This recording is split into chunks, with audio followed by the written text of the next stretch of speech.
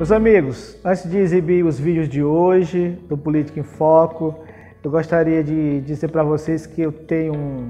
os últimos vídeos aí que foram, exibidos eu gravei é, praticamente de madrugada, a cara de sono e tem sido meio complicado, meio corrido para mim gravar novos vídeos e talvez até fique sem gravar com tanta frequência.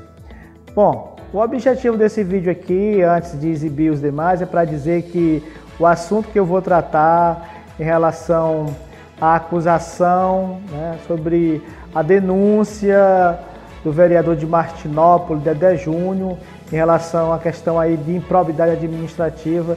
Quero dizer que não foi matéria no Acontece, no nosso site, devido a uma conversa que eu tive com o pai dele. São pessoas que eu respeito, tenho consideração e como era só uma denúncia e que o juiz não decidiu nada sobre o assunto, não sei se acatou a denúncia ou se vai acatar, eu resolvi é, não tratar do assunto.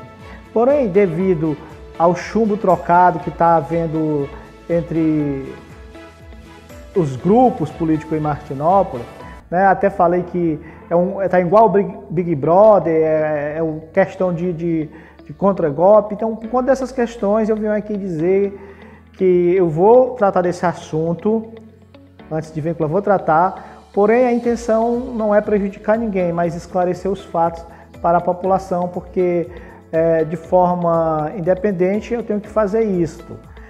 Respeito todos, tá? E para que a população também, também saiba que está havendo aí uma, um atrito entre os grupos e que esse atrito não venha prejudicar a população e é por isso que eu vou estar aqui publicando.